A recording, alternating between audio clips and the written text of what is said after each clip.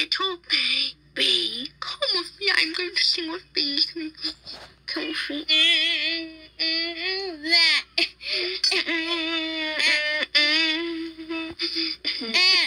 That.